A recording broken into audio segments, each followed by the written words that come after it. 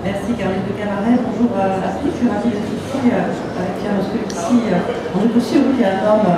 sur le podium hein, et avec Sylvie Guillaume, réformer l'Europe, refonder l'Europe, c'est même euh, là que nous avons envie d'aller, euh, dans le sens d'une Europe qui protège davantage les citoyens. c'est ce que nous avons commencé à faire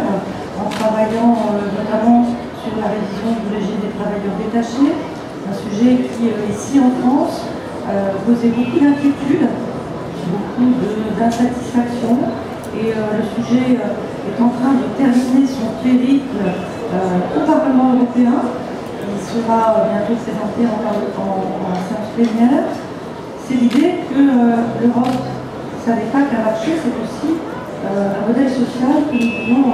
voir monter vers l'euro qui protège davantage les citoyens euh, également en matière de sécurité, en matière de défense. Et puis euh, je citerai aussi euh, un exemple que je veux saluer, d'autant plus qu'il est dû à une action qui venait plutôt avant l'arrivée de ce qu'a ce gouvernement, et donc on ne taxera pas l'esprit partisan, le fait que